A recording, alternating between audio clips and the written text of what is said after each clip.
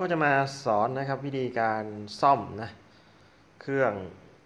คอมพิวเตอร์นะครับเครื่องคอมพิวเตอร์เครื่องนี้ก็คือใช้ solid state นะครับเพราะว่าเครื่องนี้ผมประกอบเองนะแล้วก็ลูกค้าสั่งประกอบนะครับ ตัวนี้เป็น Core i5 นะครับ Core i5 เมนบอร์ดเป็นของ MSI Gaming M3 การ์ดจอเป็น Zotac 1060 6 g OC Edition นะครับ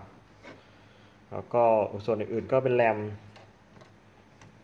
ของ HyperX DDR4 นะ DDR4 นะ DDR4 HyperX DDR4 ซึ่งตัวเนี้ยผมประกอบเองนะครับ ก็มีที่เพิ่มขึ้นมาคือมีการ์ด Wi-Fi นะครับการ์ด Wi-Fi ก็ตัวเนี้ยถ้า จะมีน้องๆท่านไหนนะครับที่อัปเดต Windows เองนะครับ กดอัปเดต Windows เอง Windows มันขึ้นเตือนว่าให้อัปเดต Windows นะฮะแล้วก็คุณก็ไปกดอัปเดตเอง มันจะค้างหน้าที่ให้รีบูตตลอดเวลานะครับ ก็คือมันจะไม่บูตเข้า Windows นะ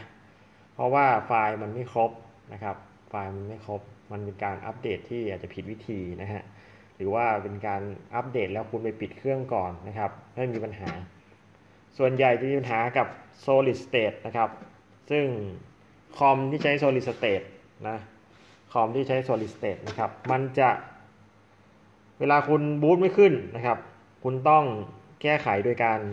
อย่างแรกนะครับ ตรงของอะพามาดูนี่นะตรงของแบต BIOS นะฮะตัวนี้แบต BIOS นะเนี่ย KTS นะฮะเป็นแบตนะครับเบอร์ 2032นะเบอร์ 2032 ซึ่งตรงข้าง BIOS นะครับมันจะมี jumper อยู่นี่นะฮะ jumper นี่นะครับถ่ายเห็นไหมอะ jumper นะครับเนี่ยไว้สำหรับรีเซ็ตค่า BIOS นะก็คือคุณต้องเอาอะไรก็ได้มาแตะนะครับพอแตะเสร็จปุ๊บมันจะมีไฟน้ำเงินขึ้นอ่าไฟน้ำเงินขึ้นที่บอร์ดนะครับ บางรุ่นก็ไม่เหมือนกันนะคือบางรุ่นเวลาเคลียร์บอร์ดคือเคลียร์อย่างนี้นะครับ เคลียร์ค่า BIOS นะครับ เคลียร์ค่า BIOS ก็คือทำอย่างนี้ คือบางรุ่นก็ถอดแบตออกโดยการเอาเอไขควงไปเกี่ยวนี้ออกมานะเกี่ยวปุ๊บนะแบตมันก็จะเด้งออกมาเห็นไหมมันก็จะเด้งออกมาเอนิ้วผมค่อนข้างใหญ่นะฮะแป๊บหนึ่งนะอะ โอเค แฟลชใช้ไม่ได้ ไม่เป็นไรฮะ เดี๋ยวสักครู่นะฮะ โอเคนะครับ เมื่อเราถอดแบตไว้ออกแล้วก็ใส่กลับไปเรียบร้อยนะครับ ก็คือถอดไอเดือยออกมาเนี่ย แล้วก็ถอดฐานกระดุมออกมานะครับ แล้วก็ใส่กลับเข้าไปนะ ก็ไปที่หน้าจอคอมนะครับ หน้าจอคอมโดยเปิดเครื่องก่อนแล้ว ก็พยายามกดปุ่ม delete นะครับ หรือว่ากดปุ่มที่มันแสดงหน้าจอนะครับ บางรุ่น บางรุ่นนะครับ ตัวของไบออดเนี่ยจะแสดงให้กดนะครับว่าเข้า BIOS เนี่ยเป็นฟังก์ชันอะไรนะฮะ ก็กดตามนั้นนะครับเดี๋ยวผมมาพามาดูที่หน้าจอคอมนะครับโอเคฮะเมื่อเราเปิดหน้าจอคอมออกมานะครับ ก็คือเปิดสวิตช์เมื่อกี้นะก็รอมัน config ค่าสักครู่หนึ่งนะครับ ใช้เวลาค่อนข้างที่จะนานสักหน่อยในการเปิดเครื่องครั้งแรกนะฮะ อะมาละมันบอกให้กดนี่ไหม F1 หรือว่า Setup นะฮะ F1 คือ Setup นะครับ F2 คือ Continue นะ F1 คือ Setup F2 คือ Continue นะครับ ผมกด F1 นะครับ เพื่อทำการ Setup ไปออดนะก็คือเมื่อกี้ผมเคลียร์ค่าไปออดไปเมื่อกี้นะครับ แล้วก็คุณจะต้องนะครับหา USB boot นะครับ พวก Highland boot พวก Windows PE นะ ก็คือมันจะเป็น บูตครั้งแรกเนี่ยมันจะขึ้นด้วย UEFI hard disk นะครับ เพราะว่าเป็นของ solid state นะครับ ก็ให้หาคำว่า USB USB handy drive อะนะครับ นี่นี่นี่ USB key นะครับ ลากขึ้นมาด้านบนนะฮะหรือว่าใบบางรุ่นก็จะไม่เหมือนกันนะครับ บางรุ่นคุณก็ลองลองเซตดูว่า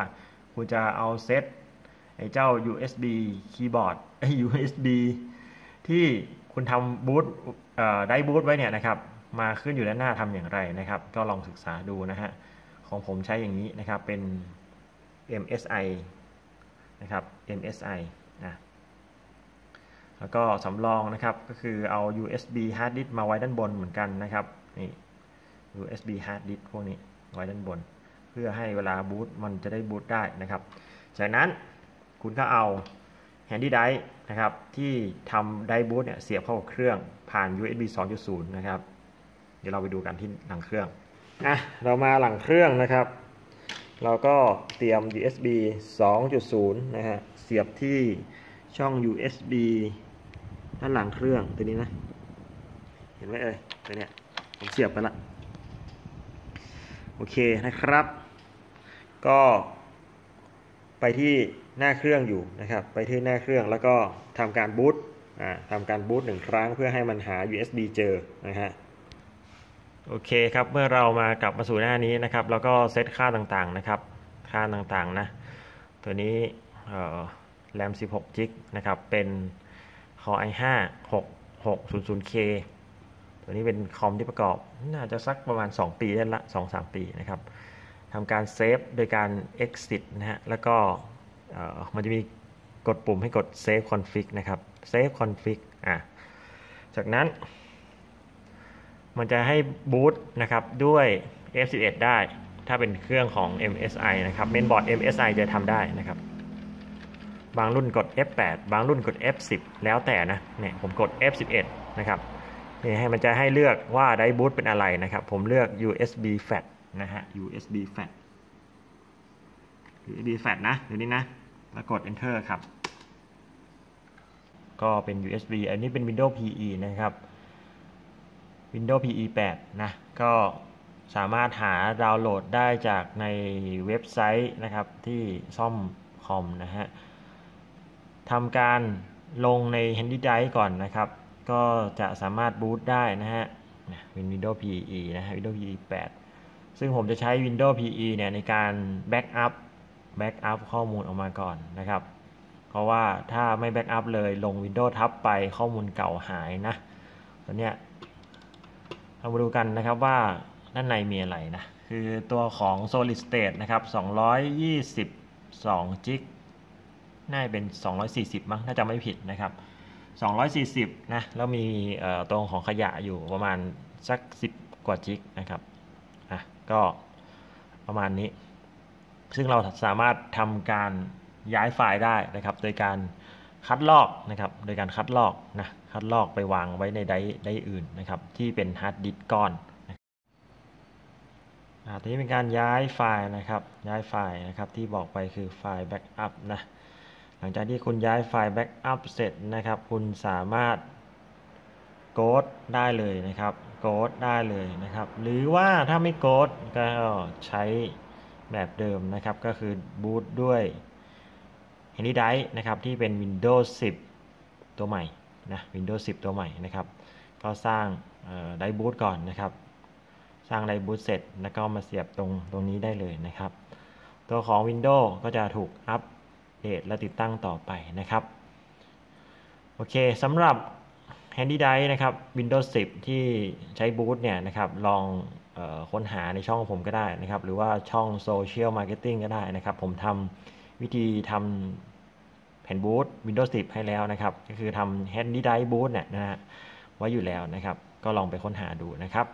แล้วก็ทำการติดตั้งใหม่ได้เลยนะ โอเค คลิปนี้ลากันไปก่อนนะครับ ขอบคุณที่รับชมครับ ขอบคุณครับ ฝากกด Subscribe ด้วยนะฮะ